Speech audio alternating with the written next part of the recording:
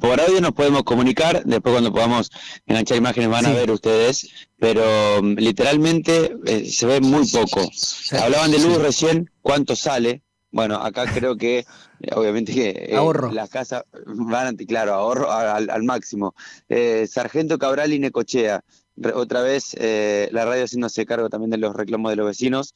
La verdad que son 300 metros, 400 quizás, que se ve muy poco, aparte estamos muy cerquita de Alem, y lo único que ilumina son algunos focos de los bares y también algunas luces de, de los domicilios. Acá, Justamente Candioti Sur, eso. Y acá en Candioti, yo no sé, a la gente que no nos está viendo, No, insisto, vayan a aire, va- busquen en YouTube, aire digital en vivo, aire, aire de Santa Fe este, en vivo y nos pueden ver. O vayan a la tele, más de 115 canales, porque una cosa es que lo contemos y otra cosa es compartir las imágenes que nos está enviando Manu.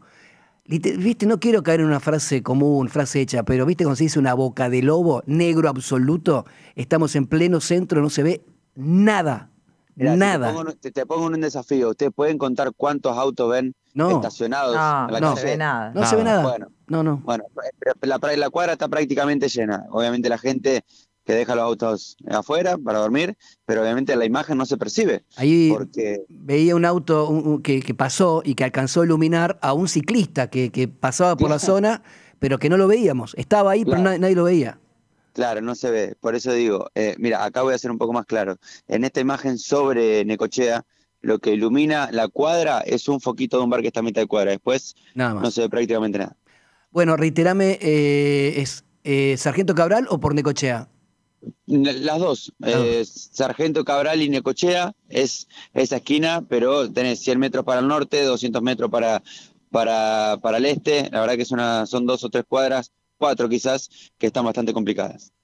José, déjame agregar Sí. algo, porque estamos viendo la situación en Barrio Candioti Sur. Les voy a contar que en Barrio Candioti Norte, este fin de semana, fueron varios este, domicilios visitados por delincuentes. En el caso, uno de ellos, una, una familia, bueno, que no estaba, que se ausentó durante el fin de semana, volvió y se encontró con todo revuelto y con que le habían entrado a robar. Así, muchos lugares. Esto no aporta la seguridad. Digo, esto es Barrio Candioti Sur. Me traslado a Barrio Candioti Norte, donde reclaman por falta de patrullajes. Eh, acá estamos viendo un barrio, uno de los barrios, Candioti, en este caso sur, a oscuras, y le sumamos barrio Candioti Norte con falta de patrullajes durante el fin de semana, donde varios vecinos fueron víctimas de la inseguridad. Gracias, Manu.